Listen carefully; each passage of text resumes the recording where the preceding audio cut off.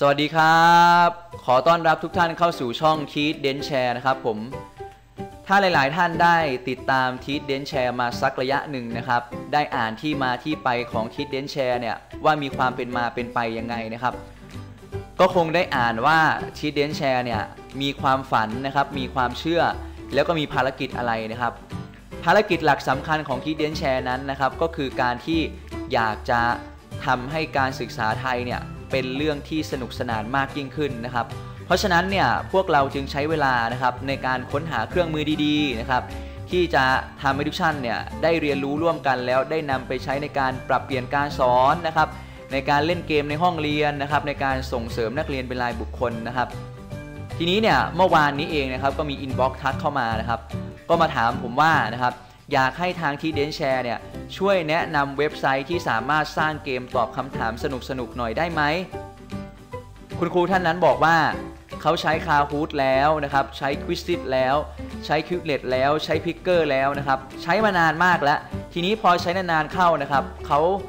คุณครูนะครับท่านนั้นก็สังเกตปฏิกิริยาตอบกลับของนักเรียนเนี่ยนักเรียนไม่ค่อยสนใจนะครับ แล้วก็บอกว่าเบื่อเบื่อครูเดิมๆ ซ้ำๆเคยเล่นแล้วมีอะไรใหม่ๆไหมนะครับ ทีนี้นะครับ พอคุณครูถามเข้ามาเนี่ยผมก็เฮ้ยเว็บพวกนั้นมันก็สนุกมากๆเลยนะ แต่ด้วยความที่เป็นเด็กนะครับเขาอาจจะพออะไรซ้ำๆเนี่ยเขาอาจจะไม่ถูกใจนะครับหรือว่าเบื่อนะครับ เพราะฉะนั้นผมก็เลยมานั่งค้นหาดูซิว่ามันมีเว็บอะไรบ้างที่น่าสนใจนะครับ จนกระทั่งมาเจอเว็บนี้นะครับและท่านอาจจะไม่อยากฟังผมพูดแล้วก็พูดเกินนำซะเยอะเลยนะครับ เว็บไซต์นี้ชื่อว่า t r e n t y นะครับ t r e n t y เนี่ยเป็นเว็บไซต์ลักษณะคล้ายๆ Kahoot Quiz เลยนะครับ แต่มันจะมีอะไรที่น่าสนใจไปกว่านั้นนะครับ และมีอะไรที่จะสามารถที่จะนำไปสร้างความสนุกสนานในห้องเรียนได้บ้าง เดี๋ยวผมพาไปชมนะครับ อันดับแรกผมขออนุญาตข้ามในส่วนของการสมัครใช้งานนะครับ เพราะว่าไม่ยากเพียงแค่ท่านมี Account ของ Google นะครับก็ได้แล้วนะครับ ทีนี้นะครับผมพอล็อกอินเข้าระบบแล้วนะครับ ตอนนี้ผมอยู่ที่หน้าโฮมเพจของเว็บ t r o j a n c o m นะครับ แล้วผมจะกดไปที่คำว่า my quiz นะครับ my quiz ตรงนี้นะครับ แล้วผมก็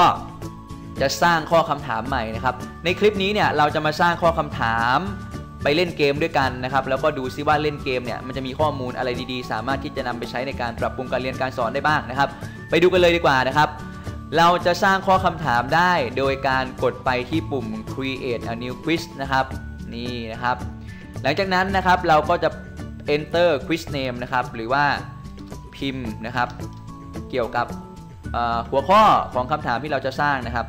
ผมจะลองสร้างเป็นสนุกกับทีเดนแชร์ก็แล้วกันนะครับ เมื่อสร้างเสร็จแล้วเนี่ยนะครับเราก็จะมาปรับตั้งค่าในส่วนต่างๆนะครับโดยเริ่มต้นตั้งแต่ upload image นะครับถ้าทุกท่านไม่อยากอัปโหลดก็ไม่เป็นไรนะครับมันไม่บังคับ ขยับมาดูในส่วน runtime นะครับ runtime setup นะครับเราสามารถที่จะกำหนดค่าระยะเวลาในการที่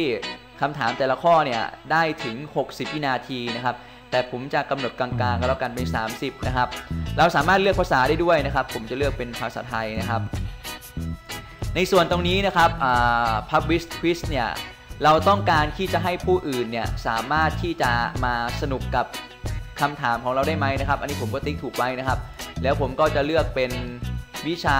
เทคโนโลยีสารสนเทศนะครับ เพราะเราเลือกเป็นภาษาไทยแล้วเมื่อกี้ เมื่อตั้งค่าเรียบร้อยแล้วนะครับ พิมพ์ชื่อของอหัวเรื่องนะครับ เรียบร้อยแล้วนะครับ ก็จะกดปุ่ม continue นะครับ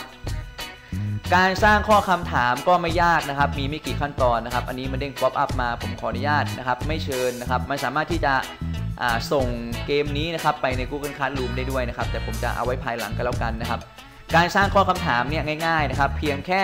เราเตรียมข้อคำถามเอาไว้นะครับ ผมแนะนำให้ทุกท่านเตรียมข้อคำถามเอาไว้นะครับ พร้อมทั้งเฉลยนะครับ แล้วก็ทำการคัดลอกมาแบบนี้นะครับ มันจะรวดเร็วกว่านะครับทีนี้ผมจะแนะเทคนิคนะครับ ผมจะทำแบบนี้แล้วผมจะ คัดลอกตัวเลือกทั้งหมดเลยนะครับแล้วเอามาวางในช่องแรกช่องเดียวแบบนี้นะครับหลังจากนั้นผมจะคุมในส่วนที่เหลือแล้วกด Ctrl X นะครับอ่านี่นะครับทำแบบนี้นะครับหลายท่านอาจจะพิมพ์เอานะครับหรือว่าแบ่งหน้าต่างเป็น 2 ฝั่งก็ได้ แล้วแต่เทคนิคของแต่ละท่านไม่เหมือนกันนะครับ เมื่อสร้างโจทย์นะครับ เรียบร้อย สร้างตัวเลือกเรียบร้อยแล้วนะครับ สิ่งสำคัญอีกข้อหนึ่งที่เราลืมไม่ได้ก็คือเฉลยนั่นเองนะครับปึ๊บ นะครับเมื่อติ๊กเฉลยเรียบร้อยแล้วนะครับเป็นเครื่องหมายถูกขึ้นสีเขียวแบบนี้นะครับเราก็จะกดไปที่คำว่า new question นะครับเราจะไปกันข้อที่ 2 นะครับ มันสามารถที่จะใส่รูปภาพได้ด้วยนะครับการใส่รูปภาพก็ไม่ยากนะครับ เพียงเราเลื่อนมาด้านล่างนะครับ กดไปที่ปุ่มคำว่า upload image นะครับแล้วก็เลือกรูปภาพมานะครับ อันนี้มันจะให้เราขอบนะครับแล้วก็กด crop and use ไปเลยนะครับ หรือทุกท่านจะปรับก็ได้นะครับ อันนี้ผมก็จะกดคัดลอกมานะครับ เมื่อสร้างเสร็จแล้วนะครับ เรามาเล่นเกมกันดีกว่านะครับ วิธีการเล่นเกมก็ง่ายนะครับ เมื่อเราสร้างเสร็จแล้วเราจะกดไปที่ปุ่ม save quiz นะครับอ่านะครับ หลังจากนั้นนะครับมันจะมี quiz link นะครับ ตรงนี้ให้นักเรียนเข้าตามตรงนี้ก็ได้นะครับ แต่ถ้าเกิดนักเรียนเข้าไม่ได้เนี่ยนะครับ คุณครูก็แนะนำว่านะครับให้นักเรียนเข้าไปที่ w w w t r o v e n g y c o m j o y นะครับ อ่า อันนี้เดี๋ยวผมลบออกนิดนึงนะครับ จริง ๆ แล้วมันแค่นี้นะครับ slash joy ตรงนี้นะครับ ทีนี้นะครับเวลาเราจะเล่นเราก็กดไปที่ run quiz นะครับอ่าข้อนี้ผมลืมลืมเลือกเฉลยนะครับ ขออนุญาตเลือกนิดนึงนะครับอ่านะครับ โอ้โหผมชอบเพลงมันมากนะครับ ชอบเป็นการส่วนตัวไม่รู้ว่าเพราะอะไรนะครับ แต่ผมคิดว่าเพลงมันสนุกดีนะครับ อ่านะครับ ทีนี้นะครับ ในฝั่งของนักเรียนเนี่ยก็จำเป็นที่จะต้องใส่ชื่อนะครับ พร้อมกับโค้ดนะครับ โค้ดในที่นี้ก็เป็น 89764 นะครับใส่แล้วก็กดจอยนะครับ หรือว่าจะกดปุ่ม enter ก็ได้นะครับ ในหน้าจอของคุณครูเนี่ยก็จะเห็นว่า player on board นะครับ มี 1 คนเป็นน้องมีนานะครับ อันนี้ผมจะใส่อีกคนนึงนะครับครับจอยนะครับอ่า เมื่อนักเรียนเข้ามาเรียบร้อยแล้วนะครับ เราก็จะไปลุยเล่นเกมกันดีกว่านะครับ กดไปที่ปุ่ม start the quiz นะครับอ่านะครับ ไปดูกันดีกว่าครับผมอ่าอย่างแรกเลยที่ผมชอบมากคือ มันตัดปัญหา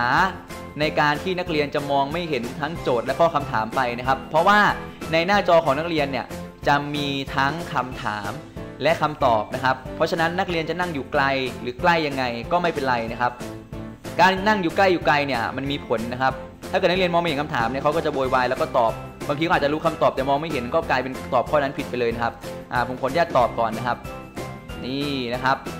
เวลาตอบแล้วนะครับ คนที่ตอบได้เร็วที่สุด มันจะบอกว่าคุณเป็นคนแรกนะที่ตอบได้นะครับ ส่วนคนที่ตอบถูกก็จะเป็นเครื่องหมายถูกนะครับ ทีนี้นะครับเราจะมาเล่นข้อ ต่อไปนะครับ สิ่งที่ผมชอบอีกอันนึงเลยก็คือเกมนี้มันมีตัวช่วยให้ด้วยนะครับ ตัวช่วยอันแรกที่เขียนว่าคราวตรงนี้คือ เราสามารถที่จะดูได้ว่าทั้งห้องเนี่ยตอบอะไรเยอะที่สุดนะครับ อย่างเช่น ข้อนี้นะครับผมจะใช้ตัวช่วยนะครับ ทุกท่านเห็นไหมครับว่าค่าเฉลี่ยนะครับมันอยู่ที่ 100%นะครับเพราะฉะนั้นถ้าเกิดเราเห็นว่าเพื่อนตอบเยอะเนี่ยเราอาจจะเดาเอาได้นะครับ หรือว่ามีแนวโน้มว่าข้อนั้นเป็นข้อที่ถูกนะครับ อันนี้ก็เจ๋งอีกอันหนึ่งนะครับ กดเลยดีกว่านะครับ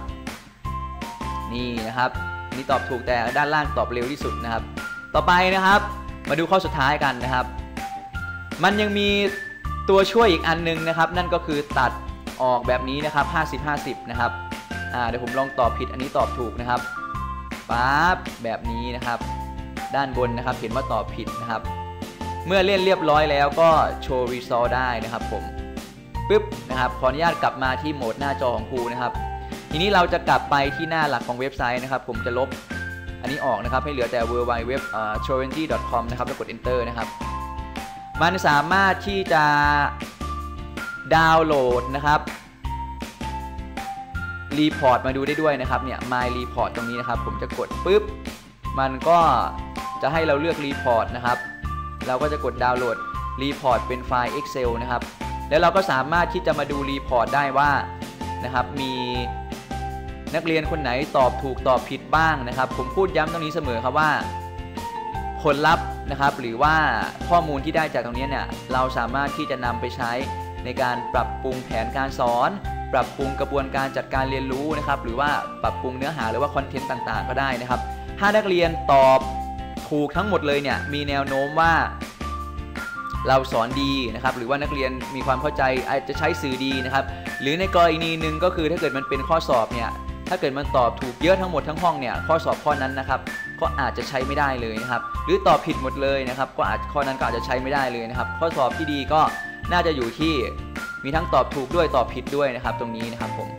เอาละครับผมหวังเป็นอย่างยิ่งว่าเว็บไซต์นี้นะครับจะทำให้ห้องเรียนนะครับเปลี่ยนไปนะครับ กลายเป็นการเรียนรู้แบบ interactive นะครับหรือว่าการเรียนรู้ที่มีปฏิสัมพันธ์ระหว่างคุณครูกับผู้เรียนนะครับ และที่สำคัญ ผมเชื่อเป็นอย่างยิ่งว่านักเรียนจะต้องสนุกกับเกมนี้แน่นอนครับ ถ้าใครเห็นว่าคลิปนี้ประโยชน์อย่าลืมกดแชร์ไปเยอะนะครับ แล้วก็อย่าลืมกดติดตามทีเดนแชร์ด้วยนะครับ หวังว่าทุกท่านจะมีความสุขในการได้เรียนรู้สิ่งใหม่ ๆ ร่วมกัน อย่าลืมนะครับ ขอร้องนะครับนำไปใช้ด้วยเถอะนะครับ และใครใช้แล้วเนี่ย comment มาบอกผมหน่อยหรือ inbox มาบอกผมหน่อยนะครับ ผมอยากจะเห็นภาพบรรยากาศแห่งความสนุกสนานของห้องเรียนไทย ทั่วทั้งประเทศนะครับ เอาไว้แค่นี้ครับ หวังว่าทุกท่านจะมาร่วมกับทีเดนแชร์ในการเปลี่ยนแปลงการศึกษาไทย แล้วพบกันใหม่ บ๊ายบาย